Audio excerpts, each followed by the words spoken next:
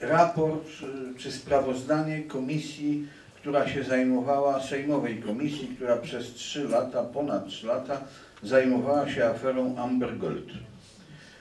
Co tam czytamy w tym raporcie? Ano to, że organy państwowe nie działały prawidłowo. No to wiedzieliśmy od samego początku, zanim jeszcze komisja powstała, że nie działały prawidłowo.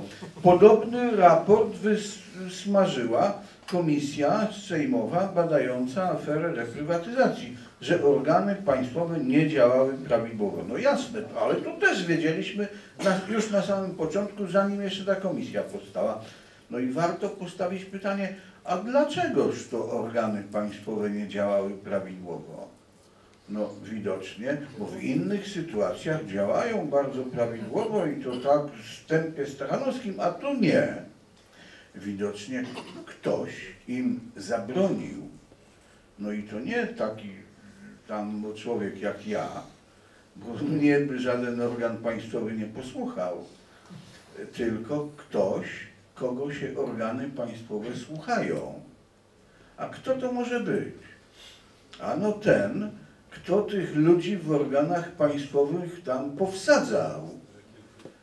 I, a, kto to, a kto ich powsadzał?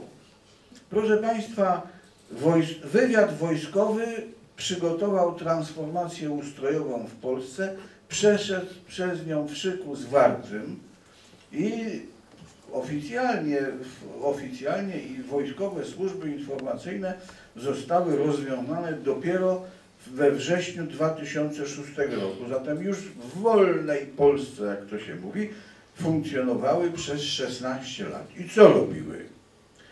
Ano, rozbudowywały sobie agenturę. Rozbudowywały sobie agenturę. I no proszę, niech Państwo przez chwilę sobie wyobrażą, że każdy z Państwa jest generałem, panem generałem Markiem Dukaczewskim. No co, gdzie byśmy tę agenturę lokowali? Przecież nie z całym szacunkiem, ale nie w środowisku gospodyń domowych. No co gospodyni domowa, co się przypaliło, co się przesuło, to nawet mogą być prawdziwe informacje, ale co nam po nich, prawda? Więc agenturę się lokuje w takich miejscach, gdzie rozmaite pomysły przybierają postać prawa, czyli w konstytucyjnych organach państwa. W takich miejscach, gdzie się kontroluje kluczowe segmenty gospodarki, w takich miejscach, gdzie się decyduje o śledztwach, komu zrywamy paznokcie, a komu zostawiamy, tam, gdzie się wydaje wyroki, kto idzie do lochu, a kto nie idzie. No i wreszcie tam, gdzie się produkuje masowe nastroje, w mediach, przemyśle rozrywkowym, środowiskach opiniotwórczych. I ta agentura została pieczołowicie tam ulokowana. I dlatego mówię, że oficjalna nieobecność wojskowych służb informacyjnych jest wyższą formą obecności, dlatego że ta agentura pozostała. Ci ludzie nie wyparowali, tylko pozostali. Co więcej, oni doskonale wiedzą, komu zawdzięczają swoje wyniesienie, obecną pozycję społeczną i materialną i wiedzą, że jak będą dyspozycyjni i karmi, to nawet dzieciom mogą te pozycje przekazać. No i dlatego organy państwowe nie funkcjonują prawidłowo.